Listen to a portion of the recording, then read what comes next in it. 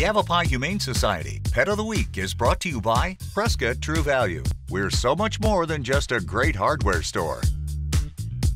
Hi, welcome to the Yavapai Humane Society and our Pet of the Week.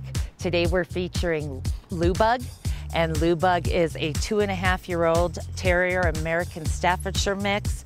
Uh, she was surrendered to us in August of 2021, and then we found out that this girl was pregnant and had a good bunch of puppies. Uh, she was a little torn down from that, but she's bounced back and she is just full of life. Um, she was adopted out in November, but unfortunately was brought back a couple of days later for not getting along with the other dogs in the house. Um, she is super sweet, super friendly. Um, she does need active adopters who are going to give her the physical and mental stimulation that she needs. As you can see, she's got a lot of energy in her, but she is a complete love. Uh, she loves hanging out with her people, going for walks, going for a nice long hike. She loves her treats.